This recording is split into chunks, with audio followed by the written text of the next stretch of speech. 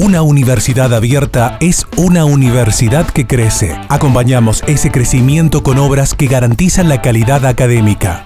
Construimos nuevos laboratorios de medicamentos, odontología e ingeniería civil. Y ya están en marcha las obras de biblioteca, comedor universitario y albergues para cada sede del interior. El nuevo edificio de la biblioteca contará con salas de lectura, multimedia, de conferencias, silenciosa y hemeroteca, patios de lectura y espacios confortables. El comedor universitario tendrá instalaciones más amplias y cómodas para recibir a 350 personas simultáneamente. Además, tendrá acceso directo y estacionamiento propio.